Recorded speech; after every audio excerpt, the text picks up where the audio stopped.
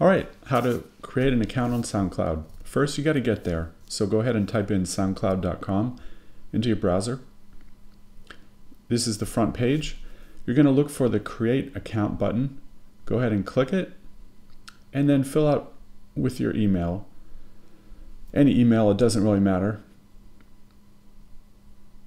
And of course, put in a password, make it a good one you can remember. Let's see if I can do that. I can. Go on to the next screen. Just choose a name for yourself. I just always put my first name, last name. Fill out some more information. Now we got to go confirm it, the email that SoundCloud sends to us. So I visited my email, click on the button. It takes me back to SoundCloud. And here it says I'm incomplete, it needs more information. It's lying. I don't know what information more it needs, but you're done.